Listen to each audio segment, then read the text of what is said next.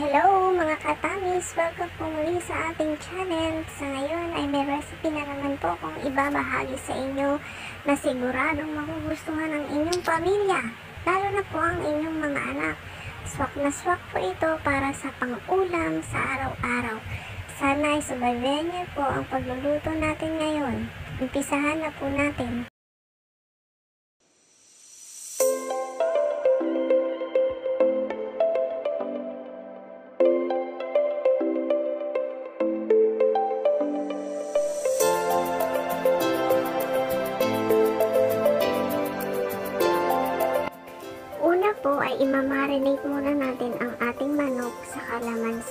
Patis at paminta. Pagsasama-samahin lamang po natin ang mga sangkap hanggang sa mag-combine po ang mga ito.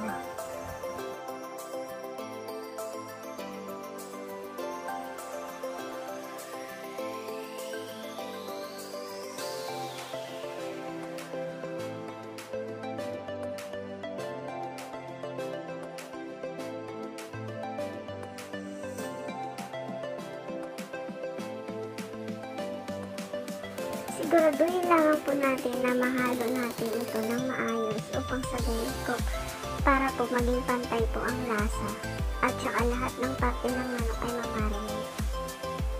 Then, lagyan po natin ng isang itlog kasi ito po ang magsisilbi na pampalambot sa ating manok. At napakasarap po talaga kapag ibinamarinate natin ito na may kasamang itlog.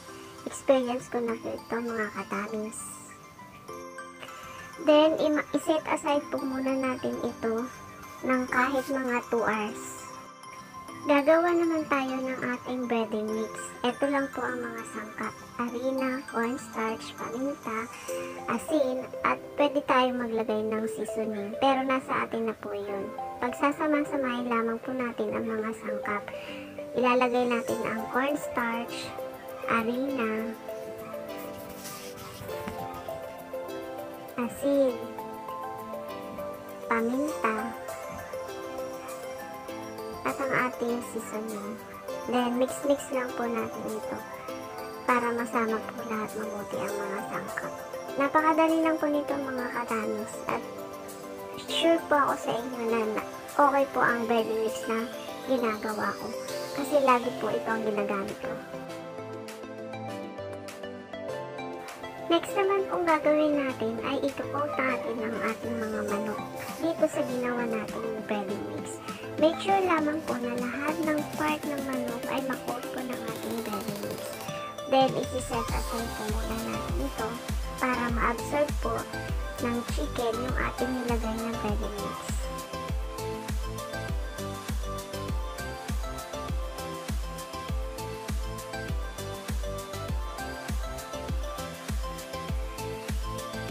Then, after po na makaut lahat, ngayon kung may sobra pa po tayong breading mix, pwede pa po natin itong ihalo para makadagdag po sa coating po ng ating chicken. Kasi sayang naman po kung itatapon natin. Then, pagkatapos nito, ready na po ito para prituhin natin. Sa isang pan, maglagay lang tayo ng sapat na dami ng mantika. Mas maganda po kung deep fry po ang ating manok. Then, kapag mainit na po ang mantika, lagay na po natin isa-isa ang ating chicken. At huwag po natin ito masyadong dadamihan kasi mas matagal pong maluto kapag siksikan po ang ating manok. Tansya-tansya lang po pag may time.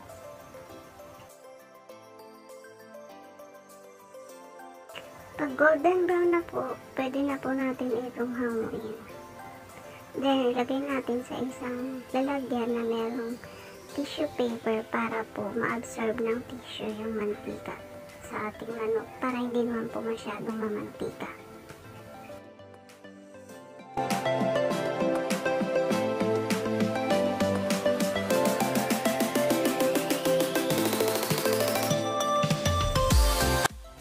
Ulitin lamang po natin ang proseso hanggang sa maubos na natin na prituin ang ating mga manok. Then, kapag natapos na natin itong prituhin, ready naman po tayo para gumawa ng gravy. Paggawa natin ng gravy, napakadali lang po. Maglagay lang tayo ng 2 tablespoon isang pan. Hayaan lang po natin na uminit yung mantika. Ito po ang gagamitin ko sa paggawa ng ating gravy kasi napakasarap po nito. At lasang Jollibee po ang, ang lasa nito. Mix lang po natin ito sa mantika hanggang sa medyo mag-golden brown na po. Then, lagyan po natin ito ng paminta. Mas maganda po kung pino yung gagamitin nating paminta. Kaso naubusan po kasi ako ngayon kaya medyo crack po yung paminta na aking ginamit. Then, mix lang po namin ito hanggang sa mahalo ng mabuti. Pagkatapos nito ay lagyan natin ng paunti-unti ng tubig. Una ay 1 cup po muna ang aking ginamit. Pero sa kabuuan po nito, nakagamit ako ng 2 cups na tubig.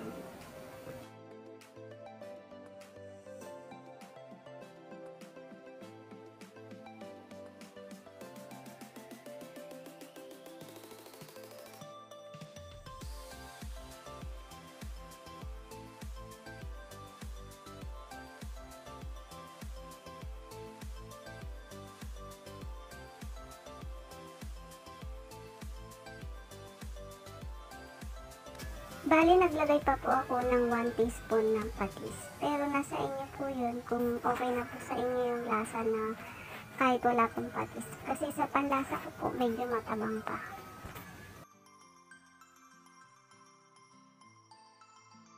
Mix na lang po natin ito ng mabuti. Then, hantay na lang po natin itong kumulo at medyo lumapot.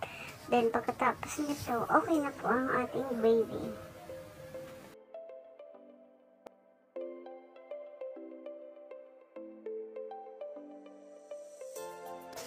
Then, isalin na po natin ito sa isang lalagyan. Then, ready na po ang ating masarap na gravy. At siguradong magugustuhan nyo.